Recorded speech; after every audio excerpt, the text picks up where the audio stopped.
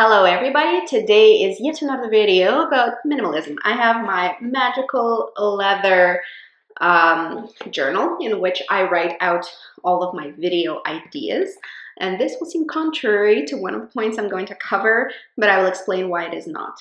Um, at any given point, I only have one journal going and usually it's just ideas journal. So let's start. Today is going to be about the small steps that you can take to move closer towards minimalism. Why would you want to though?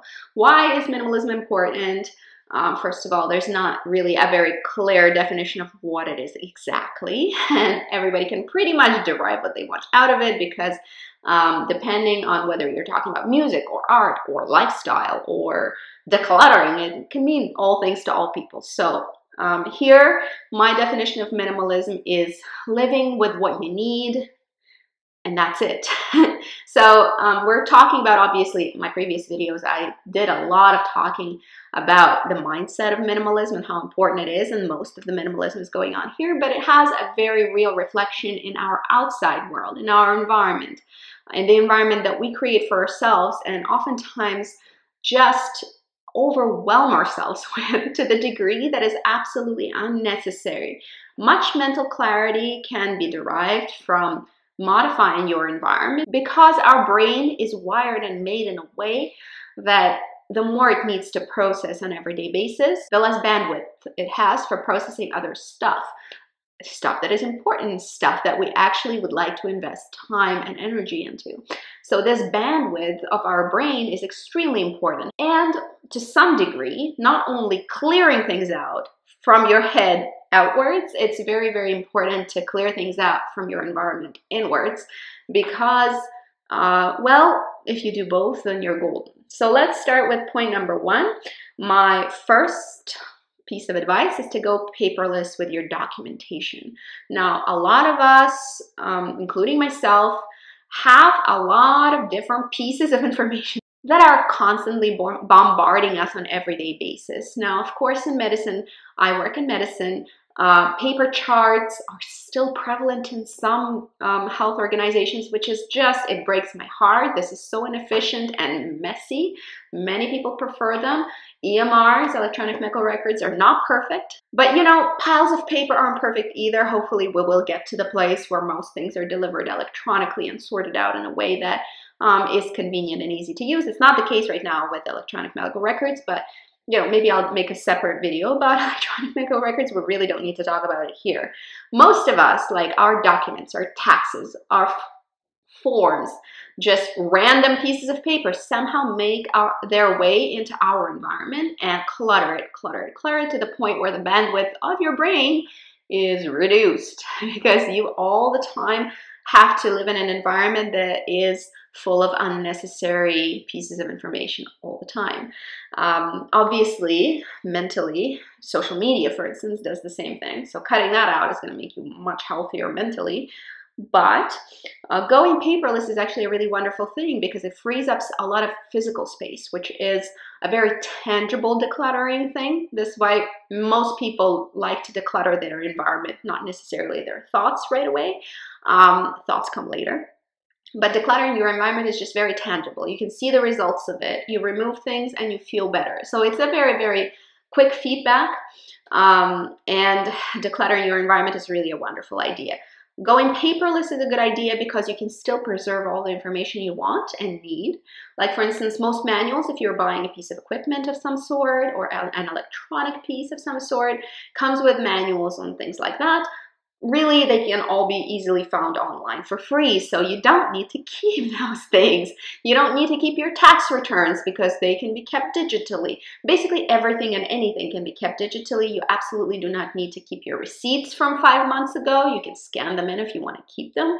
Um, and there are many applications that will help you do that. Keeping your documents and lists and agendas digital has a lot of merit. I know there's a huge movement online um, towards journaling and journaling is so important and it can be a very good tool to sort of sort your thoughts out or meditation technique also you know there's lots of benefits to journaling and if you're into journaling then good good for you go for it like i said i have a little um, papered journal. I only own one in total. Uh, and then when I run out of it, I will I just will get another one. But I own one journal, and that's for thoughts and ideas, generating those. The rest of my to-do lists, shared to-do lists, um, um, my life goals, everything basically is kept digitally on my phone because that's always with me. Sometimes when I'm in a funk, all I have to do is look at my phone and go like, okay, what are my life goals for this year? And I look at my list of life goals and I'm I'm reminded of what is important and what I should strive towards. If I'm overwhelmed and lots of details are going on in my mind, just sort of click, click, click, click, click, click, click, I can stop and look at what is important, what I set up for myself to do, and that's helping. Um, that's helping you to sort things out, prioritize, see where you are in your total sort of overview goal, bird's eye view. Um, details like what we keep on to-do lists and in our agendas um, that can be lost easily. Plus, you have to haul your agenda everywhere with you if you want your lists to be with you. Store them digitally. Don't write them down on pieces of random paper. Don't write them down in a journal that then you need to carry with you everywhere have them digital on your phone. Um, the app that I enjoy the most, and I tried a few of them to see which one I would enjoy the most, and my favorite was Wunderlist. We share task lists with my husband, grocery lists, like, you know, it's very, very easy for both of us to edit this these lists that we need to edit at the same time. We can prioritize tasks. It's very, very easy, especially if you are living with a partner or a family member with whom you like to coordinate activities and you like to coordinate priorities and you like to share lists. This is invaluable and so much more effective, efficient, um, and easy to do than um, going going at it on paper. Um, the other thing is obviously calendars. I used to be a big agenda person in my uh, undergrad days, but nowadays I do everything digitally. I have my Google Calendar app, which it just tracks everything for me. I have a reasonably hectic schedule um, because of my work, and I'm just able to keep on top of things because I can very easily digitally edit it. I can share my calendar, for instance, with my husband if we need to coordinate something. And it's just so much, so much easier to have everything in one spot and your phone be the hub of all the things that you need. Um, so I strongly, strongly suggest you check out a few apps. You find what you like best. These are the things I like best. And these are my two must-have life organization apps. Um, try them out and see what you enjoy and try them out and see if it works for you. And some people might still really prefer paper, agendas, or whatever else. Um, but for most people, I think it'll work very, very well. Okay, very long-winded. Number two, minimize mental clutter and use technology to do that. So uh, we already talked about uh, Google Calendar and Wunderlist applications, which I use to go paperless and organize my life. Um, you can also use stuff like Evernote that can be very, very useful. But for me, that was too involved. I like a much simpler approach to planning my time.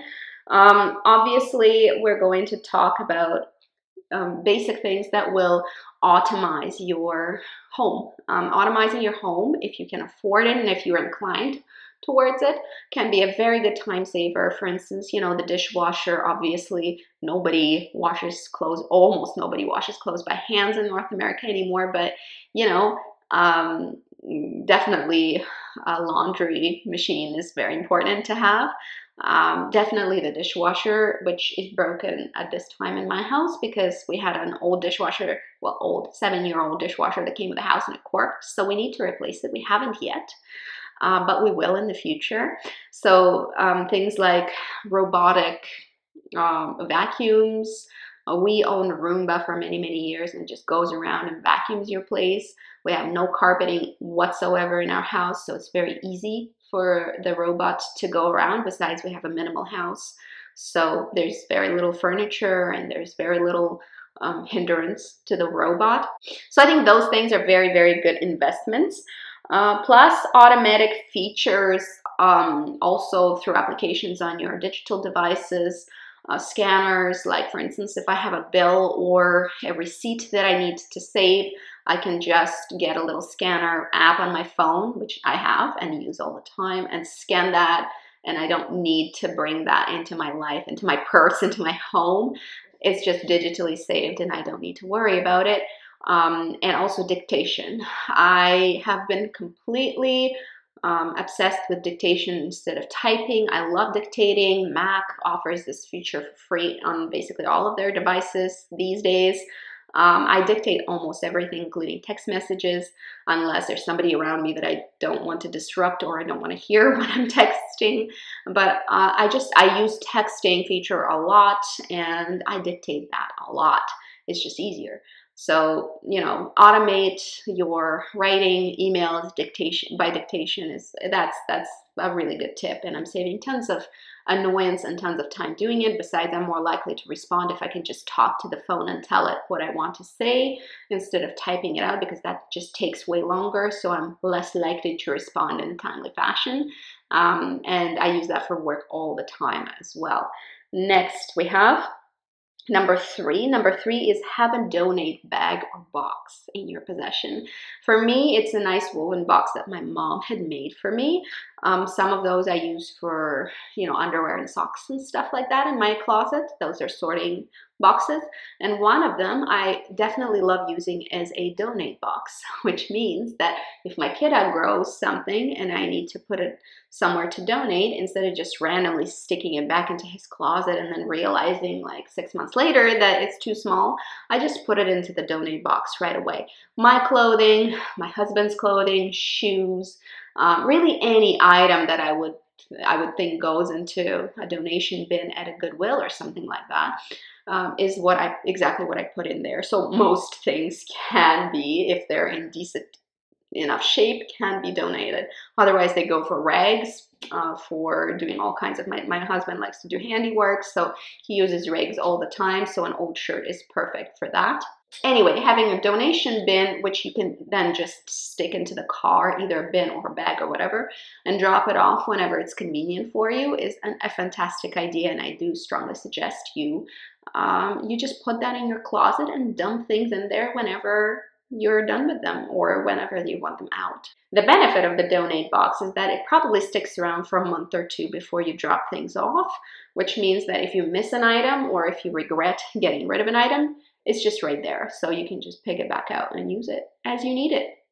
Next, number four, unsubscribe for all the mailing lists. If you're anything like me, my email used to be riddled with a variety of offers and here's what's new. And you know it's just it's a bit of a mess when you are a person who enjoys shopping. These companies really know what they're doing when they are uh, forcing you to basically sign up for these lists. Sometimes it's an offer sometimes it's like you can't proceed unless you sign up. That is extremely annoying but a lot of people just sign up and then block it in some way. But um, Generally, that kind of spam still, especially if it's from your favorite stores, delete it if it's from your favorite stores, mostly because you probably don't need to be buying crap from there, do you? You wouldn't have thought to go and check what's on their website, what's new, if it wasn't um, if it wasn't explicitly sent to you in your mailbox.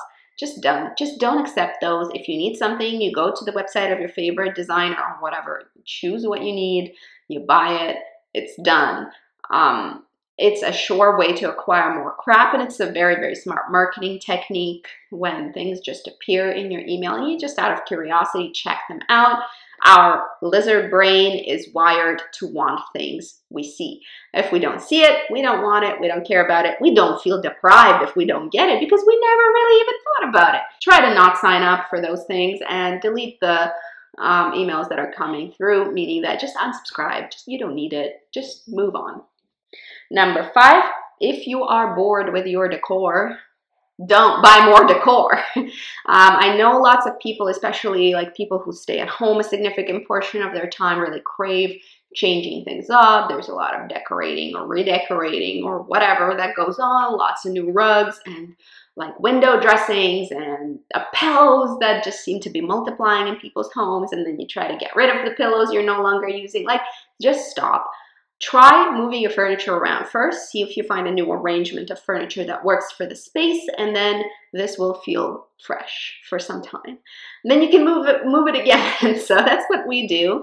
I don't buy seasonal decor. We have our christmas decor for the little one and it's resting in the basement for most of the year probably when he grows up and we no longer need to make the hoopla about the holidays, we're going to stop with that too. Generally, adding extra stuff to your home is not going to make it any better. it usually makes things worse because you do now have more things to store and your space is getting more and more cluttered. Some people perceive clutter as coziness, but most of us are not wired to feel well when we're overwhelmed by objects around us. So clearing out some objects from your environment really can make you feel a lot lighter and better, uh, more organized, more on top of things, and just sort of less messy. So do that. And instead of buying the new rug, if you really feel like you want a, a new space or try to freshen up your space, just move your couch. Like move it to a different location, reorganize the room around it a bit and yeah, see if you feel better. For most of what I want in terms of like feeling freshening up the room, just moving furniture works fine. Try it out first. If it doesn't work for you, go ahead and buy another lampshade or whatever. But you know, if it does do the trick, then perfect. You have basically spent no money and added no crap to your lifestyle. Excellent. Number six, this is go paperless, but re with regards to books. I love reading paper books. I love the feel of paper, the smell of paper in a new book. There's something very special about having paper, but honestly, we should just all go digital. I have, and I do a lot of audio uh, books for sure. I've started recording books as well. So for me, it's a it's an adjustment because I do love paper books, as a lot of us do but it's just not sustainable. what if everybody wants paper books? We're just going to cut down all the trees to accommodate people. It is unrealistic. If you really love paper books, go secondhand. Stop buying online. Stop buying in the bookshop if anybody still goes. You know, you don't you don't need paper books to enjoy books. You can either read if you love just reading with your eyes. Your eyeballs can do all the work digitally um, or from digital copies, but I would recommend trying audiobooks. And it's also digital and it's much easier to listen to a book on the go if that is something that you can do or in the car. And you can still reap the benefits of reading without actually having to read and getting tired and sleepy. Uh, you can do it while doing other stuff, um, or you can do it just sitting down calmly in your armchair. Uh, so audiobooks or maybe digital copies, but stop buying paper. All that paper books do is nowadays, I think, just tells other people who come into our home what kind of person we are because it's like a basically a show of what we read, and especially if it's if it's uh, highly intellectualized books or books that you should really read because they're classics. Maybe you even haven't read them, but like the, the bookshelf says that you have, and maybe you appear a little bit better than you did before to the people who come in and see that. Useless. So stop. It's just dust collecting. How many times do you reread books in your life? Not a lot, I bet. There may be a couple books that you've reread previously, but usually we don't reread books, we just get new books. And what we have is just standing there collecting dust and it's not never going to be touched again unless you donate the books and let somebody else pick through them, which is a decent option. And we should definitely recycle books in that way. But if you want to read something that just came out, just, just get a digital copy, seriously. Number seven, use multi-purpose products. And I'm going to give everybody a couple of examples of what I mean. But for instance, I'm not huge on hair. I don't really do a ton of things to my hair. I have a little go-to things that I might do with my hair, and one of them is waving it. Another one is straightening it. That's basically all I do, and that's mo what most people do. However, many of us have closet closetfuls of a variety of hair instruments of some sort that look like torture devices curlers of a variety of shapes. Many of them look like they can involve, be involved in some kind of sex play. And we just, we, we usually don't really use them. We have like one or two tools that are go-to tools. For me, I figured out that really all I need is a flat iron with slightly rounded edges meaning that I use flat iron for both straightening and curling my hair, and I think it's very, very easy. I'm not a big fan of having 15,000 different curlers that create slightly different curls that all look the same by the end of the day, by the way. Um, just, just get yourself one tool that works, and for me, flat iron is great because I can do anything with it. It's a very easy tool to use and less likely to burn yourself than you are with a curler because it closes, the plates close and you're not touching them or less likely to touch them. So yeah, get yourself a flat iron, get rid of the rest of your hair tools because you probably don't use them on an everyday basis and they're probably just also collecting dust in your closet. That's one multi-purpose item. Another multi-purpose item is a multi-purpose cleaner. I used to have a variety of different cleaners for every surface. Now I don't. I have a one scrubby thing of some sort that really gets to work and gets rid of whatever gunk um, I might want to remove from whatever surface. And I have a multi-purpose cleaner that at this point I, I mix up myself because I, I want a non-toxic option and non-toxic options for some reason are pretty gosh darn pricey. So I mix a touch of Castile soap with some water and vinegar 50-50. Um, and I add a little bit of essential oils for a nice smell. You don't even have to do that. And you can do it also with just water and vinegar 50-50 and nothing else. It's a very easy recipe. Everybody's using it. It's, it's simple. You certainly don't need anything special to clean surfaces or windows. Vinegar cleans windows very well. So just skip the soap and skip the oil. Water and vinegar will clean your windows just fine you know, do things that are simple to do. And I'm not somebody who does a ton of DIYs or wants to complicate my life in any way, but that that sort of a cleaner is so easy to mix up and you always have ingredients in your kitchen to do that. Um, so yeah, more multi-purpose, fewer things to worry about. Castile soap also goes into my little pumps for hand wash. Um, and I can, in a pinch, use it for basically anything, including laundry and uh, dishwashing. So, you know, those multi-purpose items are really great. Number eight, get a safety razor if you shave. Obviously, if you lasered yourself from head to toe and you no longer need to shave, lucky you, good for you. Um, I still shave my legs. Um, I still haven't lasered them. I should probably do that some, at some point in the future. That's a pretty minimal thing to do. Uh, but right now, I still do use a razor and having a, an actual uh, reusable steel safety razor is a fantastic idea, mostly because I now never run out of razor blades because I bought they came with the with the razor and I have enough probably to last me until I die. So I have a ton, like it comes with a ton. Like you literally will never go through them. And you know, the this razor is sturdy, it looks beautiful, and for some of us it's important, for some of us not so much. Those pink lady razors are gross looking. I'm sorry, I don't like them. Um, and you have to always change them. They go dull pretty quickly, and then you have to mentally either stock up, so more crap to worry about, or worry about always picking some up constantly. And they're pretty expensive too. Um, so going for a safety razor, I now have gotten very, very um, comfortable with using it. So yeah, it's a bit of an adjustment when you're switching from plastic lightweight double razor or triple razor to a very heavyweight single razor. It's a little bit different, but I can't say that I cut myself anymore. I can't say that my shave is any worse because it isn't. You just sort of adjust to a slightly different feel of the um, tool and then it's fine. It works the same.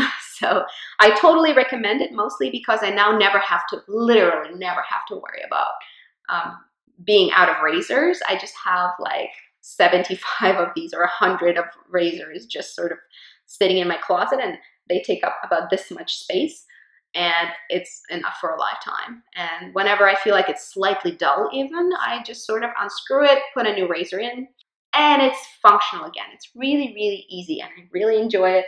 I enjoy having one less thing to worry about on my shopping list. It's nice.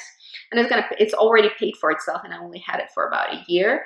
But the amount of money I spent on getting this razor that is going to last me forever versus getting a year worth of okay quality razors that are plastic, um, it's all savings from now on.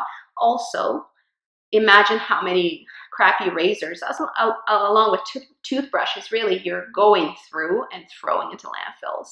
Uh, instead, you can eliminate that completely, have one metal razor and no more plastic. You're cutting that completely out, which is really, really nice, I think.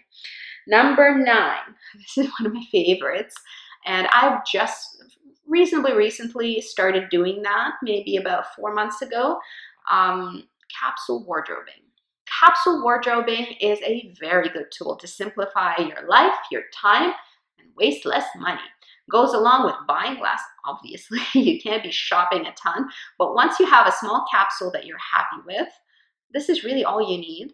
Um, some, some, some people really get their panties in a twist about wearing the same outfit twice. Get over it clothing is not supposed to fall apart on you after you wear it once. That's weird. That's a weird way of thinking. It's an odd idea. Moreover, if you have that kind of way of thinking, please let me reassure you there's not one person apart from your family and close friends in this universe who gives a crap about what you dress like. Nobody cares. As long as you're presentable and clean and don't smell, people won't even notice what you're wearing. Nobody cares about what you're wearing.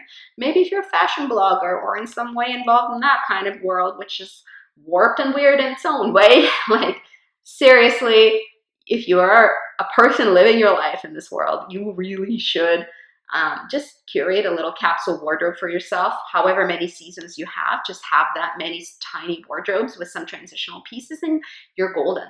You have so much less stuff the stuff that you have fits together and you never ever have to again wonder um, if things match or if you look stupid or try five shirts in the morning just to get an outfit that is acceptable or appropriate. Just no, just get yourself, invest time and brain space for like two hours of your life. Hopefully, it won't take longer than that to create yourself a little seasonal capsule for the season you're in and that's it. And everything matches together, everything works together. You never have to think about outfits. Everything is just easy and simple and doable. And all of a sudden, you look like you have your life together and you stop using the precious bandwidth of, of your brain on thinking about which freaking shirt or skirt you're gonna wear, because that's a waste of your life. Um, some people have it as a job, some people have it as a hobby. If you, if, if for you it's onerous and you don't like it, get a capsule wardrobe. I love having a capsule wardrobe. It's the best choice I've made in a long time and it just really, really works well. I have a tiny little wardrobe. I'll show it to you sometime soon on camera. And this tiny, tiny little wardrobe serves all the needs I have. And it's easy and it's simple and it's it requires no effort on my part, which I love. Number 10, focusing on what you need and have instead of what you want. And I'm not saying don't have goals, don't think about what you want. That's not what I'm saying. I'm really talking about objects in your environment. Most of us, a lot of us, have enough crap to last us years when it comes to clothing and shoes. And, you know, there are very few people out there who have like three pairs of shoes and wear through them. Most of us have far more than what we need we always think that we need more and we feel unhappy about it. In fact, you're feeling unhappy about yourself and who you are as a person and where you are in your life. Your crap has nothing to do with it. It's not even a factor. But we're made to believe that, you know, getting one more pair of shoes or this particular designer purse, that's what's going to make you happy. And it won't. It's always a big disappointment and it's always just a step in the wrong direction financially and emotionally. So don't, you know, focus on what you have. You probably already have enough crap to work for you. Focus on what, what it is that is in your possession. And actually, once you declutter and you have fewer things, you appreciate them much more. That's the magic of decluttering. All of a sudden, that shirt that you forgot you had, and then all of a sudden, it's only one of the five shirts you kept. All of a sudden, you love the shirt. You wear it all time, you enjoy it, you like the fabric. You know, if it's a crappy shirt, then obviously you won't like it. But if it's a good quality piece that fits you well, you're gonna just enjoy it and you're gonna get a lot more both financially and emotionally out of your stuff the fewer objects you have. So really minimizing your environment has to do with that. Your, it forces you to be more content with the things that you do have and focus less on the things that you want uh, this want for things is really quite a toxic way of our brain to say, you're quite unhappy right now. It's not really a way to say you need this. It's more like you don't have this, you need this. The lizard brain is making us believe things that are not true. Get control over your lizard brain and stop focusing on the things that the social media and regular media and every marketing company that wants something out of you wants you to believe are important are not actually things that are going to make you the happiest. We all know that in theory, but how many of us actually actively practice gratitude, feel good about what we have, and focus on what we have rather than what we don't have? Try that out. try just a little time to yourself, whether it's meditation or just thoughtful five minutes to appreciate the things that you do have. And then I don't necessarily mean like, I have a job, I'm really appreciating it, although that is a good way to think about what is important in your life or what parts in your life are actually present and working well for you. Obviously, focusing on that is very healthy for your psyche, um, for your whole psychological and psychiatric health. Perfect. But actually, focusing on the objects around you that you enjoy is also good for your mental health. So, you know, get happier with what you have instead of keeping yourself unhappier with what you don't have. Very, very simple notion, really not rocket science. Most of us don't do it. All of us should do it. Okay, so that was a long list. That's it for today. I hope it was fun for you to um, get my 10 tips, 10 points. Write down below if you agree, disagree, or have any other things to offer to our common brain. Pretty certain you guys had that stuff really stored away nicely in your brain, so none of that is new. But you know, let's talk about it. Let's share with each other. Let's let's uh, continue to think about minimalism and how it can improve our lives. Um, and those 10 tips are mostly a conversation starter. So let's start that conversation down below. See you guys later. Have a wonderful day. I hope you're in a good mood and good luck.